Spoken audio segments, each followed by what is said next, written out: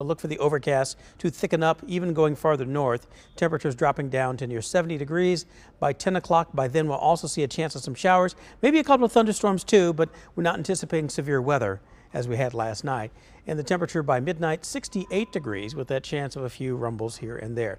Then the first alert hour by hour forecast for your Saturday impact because we will see some of that rain for the first portion of the day as we rise through the 60s. Don't get as warm as we did today.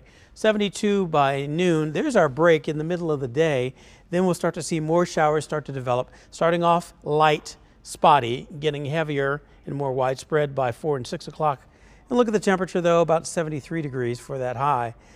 East to southeast winds will continue, but they will shift around a little bit.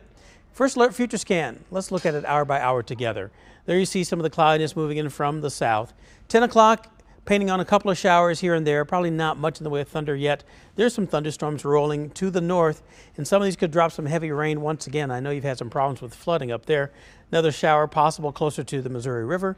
Then as we go through morning tomorrow, better chances of rain, more widespread, a little heavier, especially out to the east of 65 and going farther to the east over central portions of Missouri, but the whole system kind of holds up farther down to the east and southeast, and that's where I think we'll see at least a longer time for it to clear out down toward uh, Marshall as well as Sedalia and Warsaw. Two tenths of an inch for Warrensburg, but there's that bullseye of heavy over another inch over northwest Missouri, Tarkio, Maryville, just to name a few.